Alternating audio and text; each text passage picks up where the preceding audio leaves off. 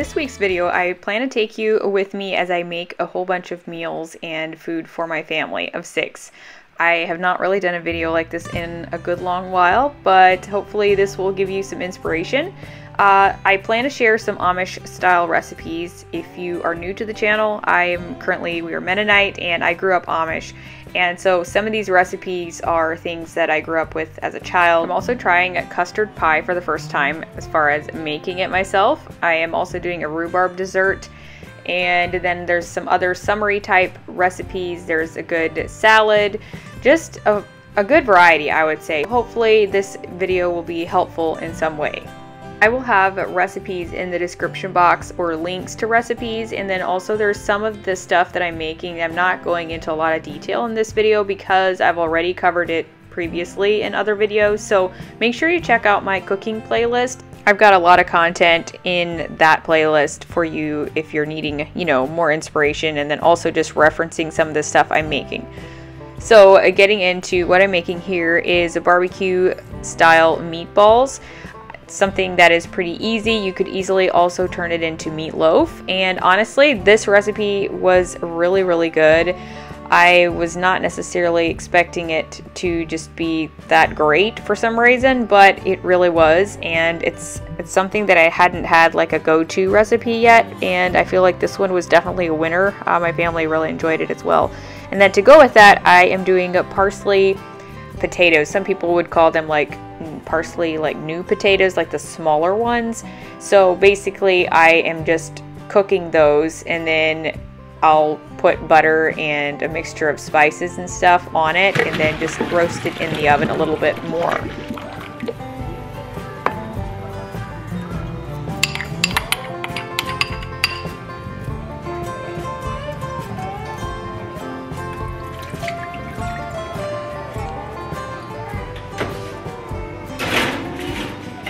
Custard pie was actually a very last minute decision.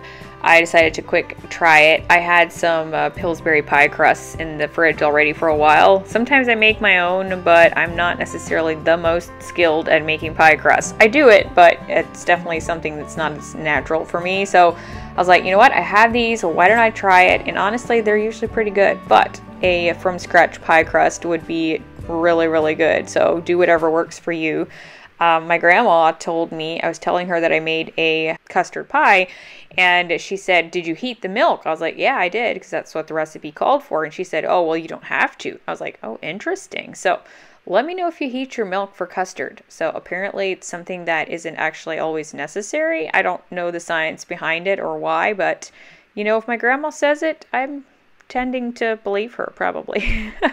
so this turned out actually really, really good. The boys were not a big fan of custard uh, or the custard pie. I don't, I guess it's just the the taste of it. I'm not really sure. It doesn't really have that much taste, to be honest. But my husband and I really both enjoyed it, and it's great with ice cream. So, yeah, I am just putting it on a sheet pan here in the oven to just avoid any spills. So, meanwhile, our dinner was pretty much ready and it turned out to be a really big hit. I just added some canned green beans as well just to get in a bit of a veggie and we devoured them pretty quickly.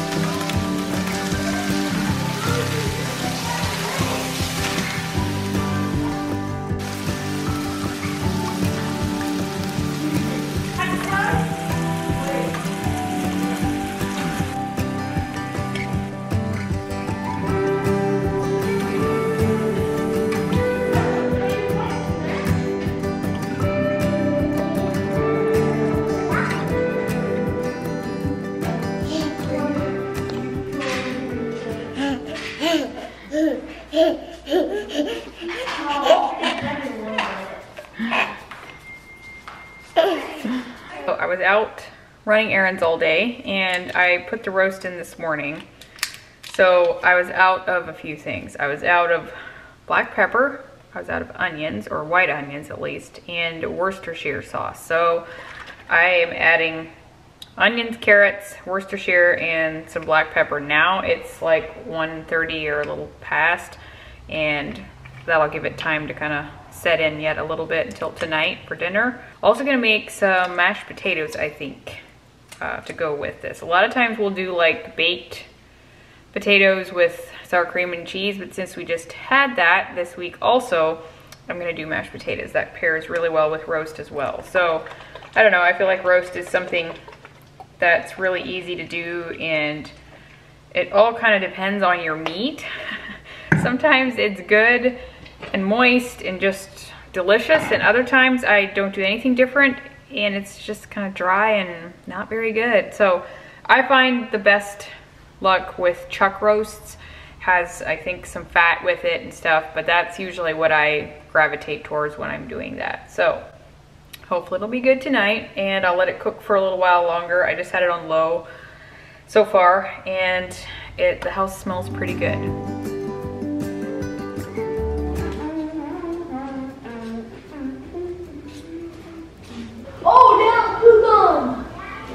What do trees and dogs have in common? They both have bark. Duh. This is the best catch in NFL history.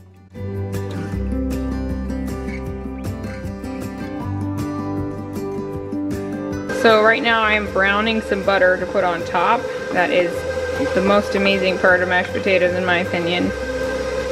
You just cook butter until it starts to brown like this. Then I'm gonna go ahead and turn it off and then I'll just pour it over top of the potatoes. I don't have a ton of footage of the potatoes because for some reason my camera was not focusing, but I this is one recipe that I have very much done in depth in like one or two other videos, so I'll just let you go watch those if you need actual instructions. Now I'm gonna heat them back up on the stove just a little bit to get them hot, and then I think we'll be ready for dinner. I added the butter to the potatoes, so yummy. Ugh. And then I drained some of the broth from the roast beef, but this one appears like it should be good, but we'll find out soon. I also added some carrots and stuff this afternoon, so almost ready to eat.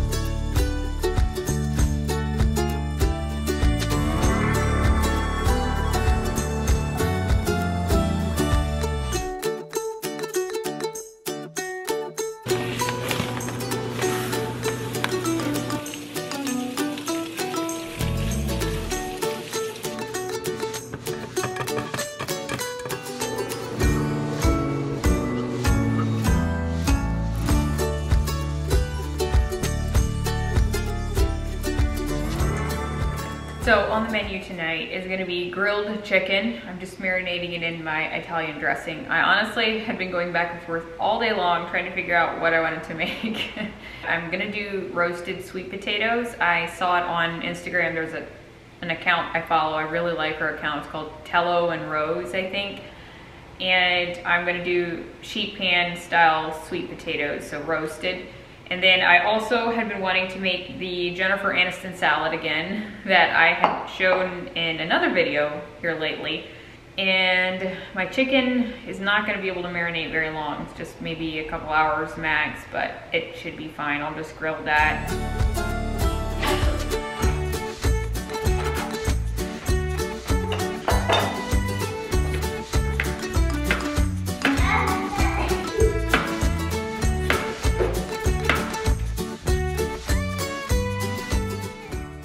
Let me know if you've tried this salad before. I don't know why, but it is such a like refreshing salad. I think I said that in the last video too, but I was kind of craving it again and I decided I'm gonna make it and it's just, it's really good. Definitely different, but it's really good.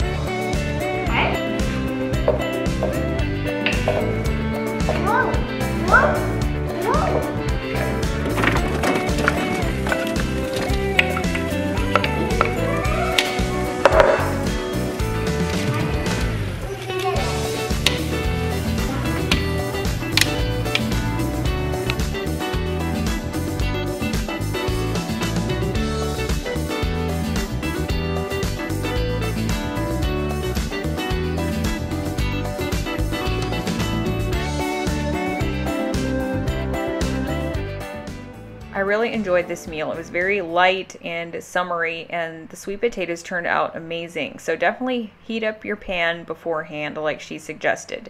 Uh, the chicken was pretty good as well, so I'd say overall it was a win.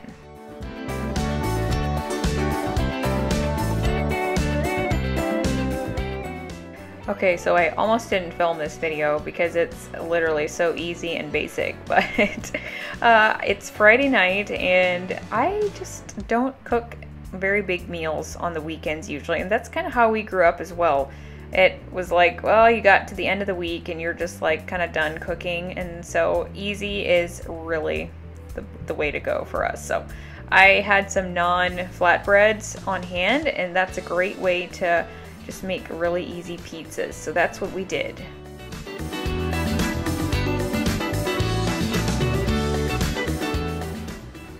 So I'm making a rhubarb dessert and we love this. I usually try to make it once or twice when rhubarb is in season. I am able to get it at Detwiler's. We don't have any that I, you know, can grow here, but I know a lot of you guys do. So this recipe was a hit. I would say definitely uh, probably a 9 out of 10. I think the crust was plenty thick, but otherwise I loved it.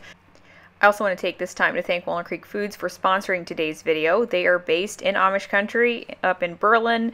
Uh, they have their headquarters there. They also have two stores that you can visit. So this summer will be prime tourist season up there, I know. And so many of you guys go up there and visit as well as ourselves.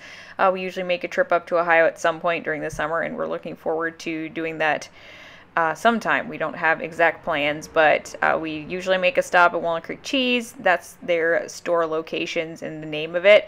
Uh, it's definitely a fun destination to go to. They have a lot of deli meats, cheeses. They have an in-house bakery. They've got all kinds of bulk foods. They have fresh foods. Uh, just I think they have a meat counter. It's it's quite interesting, so I definitely recommend you go stop in there if you're in the area. And I know the locals shop there quite a bit too. You can also shop for them online uh, using my discount code Lynette for 10% off your online order if you don't have any near you. I've mentioned a lot in the past that they do ship a lot of their stuff to other bulk food stores and maybe little grocery stores, just convenience type places uh, with a lot of their products. They might supply some of them, so look for their logo. They're actually updating their logo to a new, a fresher one, but I think it still has a buggy on it, so definitely be on the lookout for that. You'll see in this video a few times I have some of their products. I'm able to find some of them locally, but sometimes I'll place an online order as well. Go check out my description box for the link and let me know what your favorite product is from there.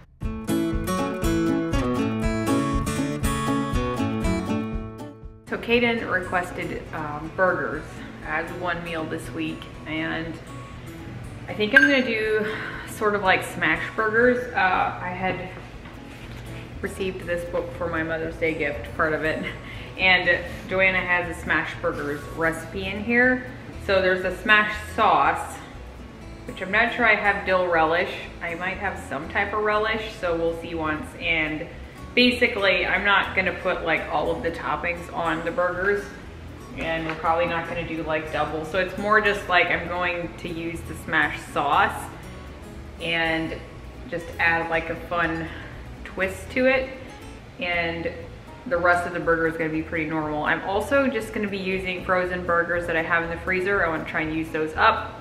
Obviously, they're probably be better if you make them yourself, but I don't have like a super good burger recipe anyway. So I'm gonna use those, um, but you can do whatever you want as far as that goes. So if I can, I'll try to link a smash sauce. Maybe it won't be this one specifically, but I can link the book just because obviously it's not my recipe, so I don't have rights to it. Uh, it's just early afternoon, but I'm kind of doing some things in the kitchen anyway, so I might as well put that together. That way it's done.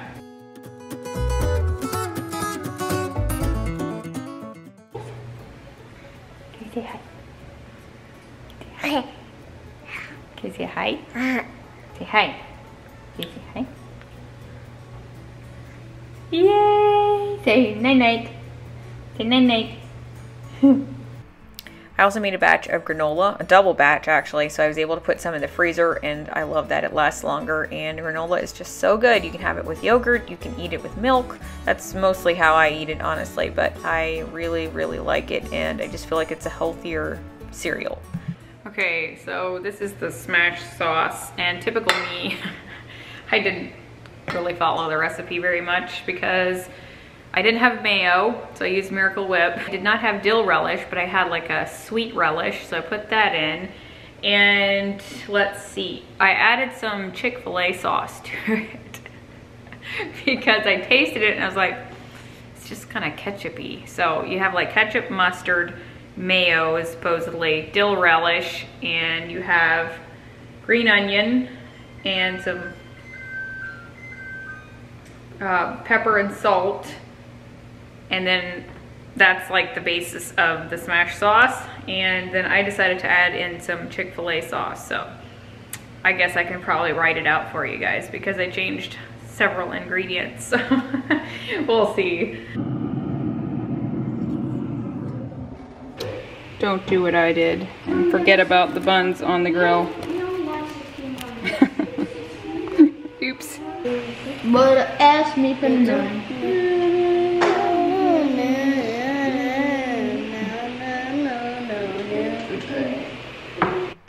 The burgers were a hit. I really enjoyed it, and I think the whole family enjoyed it very much. So definitely, uh, probably maybe an 8 out of 10.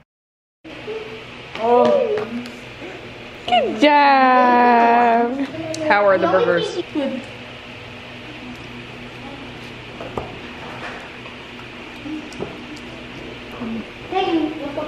Mm. I was sitting here working on my video, editing it, and I was like, I don't even have an ending. So this is the ending. Thank you guys so much for watching. I hope you enjoyed it. I enjoyed just kind of picking up the camera and filming if I was doing something anyway. It works out great. Right now it can be a little interesting trying to film with everyone at home, summer vacation and everything, but this worked out pretty well. My meals are generally pretty simple. Hopefully I gave you some inspiration. Make sure you go check out the description box for the links and recipes. It's right underneath the title of my video. There's a little like more button. If you press that, it will open up into a box. And also make sure you go check out Walnut Creek Foods in the description box as well if you haven't or visit them in stores in Holmes County. We're gonna be doing a lot of traveling in the next couple weeks and I will be filming hopefully at least some of that. So stay tuned for that. Also giving you an update on my sister Kara. Uh, her pregnancy. So hopefully in the next video I can do a little bit of that and take you along with us to South Carolina. So thank you guys so much for watching and supporting us. It means a lot. See ya.